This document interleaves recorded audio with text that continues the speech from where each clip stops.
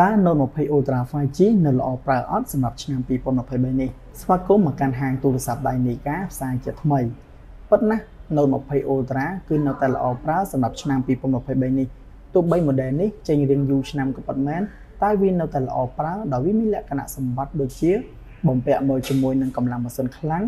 កាមេរ៉ាច្បាស់ថតបានរហូតដល់ទៅ 8K អេក្រង់កោងច្បាស់ត្រជាក់ភ្នែកជាប្រភេទ Dynamic AMOLED 2X ដែលមានកម្រិតបង្ហាញ resolution ធំ1440គុណនឹង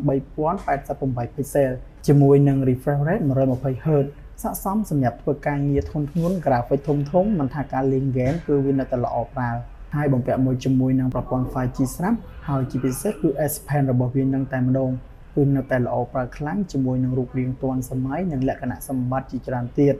សម្រាប់ model ដែលខ្ញុំកំពុងបង្ហាញនេះគឺមានលក់នៅហាងទូរស័ព្ទ Dynamica សាខាផ្សារ Depot ជាមួយនឹងការធានាជូនត្រឹមត្រូវនិងការផ្ដល់ជូននៅ voucher ដែលមានទឹកប្រាក់100ដុល្លារនិងការផ្ដល់ជូនផ្សេងៗជាច្រើនទៀត សម្រាប់ model Note 20 Ultra នេះគឺជាម៉ាស៊ីនមួយទឹកតែខ្ញុំធានាជូនអតិថិជនទាំងអស់គ្នានៅស្អាតសំណុំធានាបើមិនដូចនៅក្នុងវីដេអូសូមប្រាក់វិញប្រញាប់ឡើងមានតែមួយដើមនេះទេសម្រាប់ព័ត៌មានបន្ថែមសូមទំនាក់ទំនងមកកាន់ Facebook Page Nika Second Hand សូមអរគុណជួបគ្នានៅវីដេអូក្រោយ